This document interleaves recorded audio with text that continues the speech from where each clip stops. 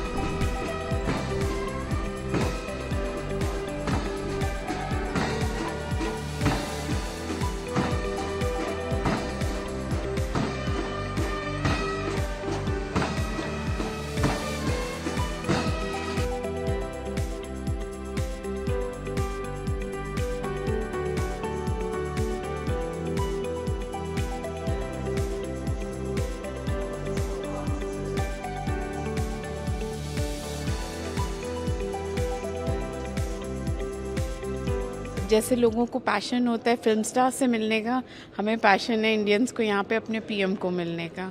It's that kind of a feeling today अगर कोई film star खड़ा कर दें और पीएम तो पहले हम पीएम की तरफ़ भागेंगे अपने। We love him so much he is hero for us this is super special this is the first visit of an Indian prime minister after 1997 so this becomes extra special I feel that this is like we been very lucky to have him during our stay here.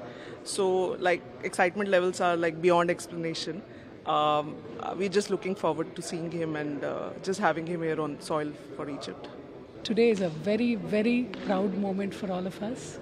And I'm so glad that I've been here all these years and we're going to see our Prime Minister on this soil.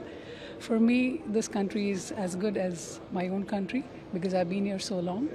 And uh, with Modi ji coming, it's like I'm, I'm having two, two countries together at one soil. So it's fantastic. And uh, we are all very excited and happy that he's here.